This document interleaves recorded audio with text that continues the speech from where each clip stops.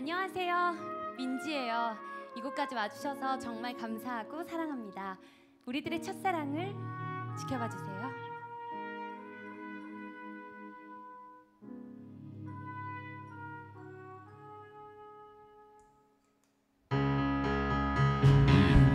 넌왜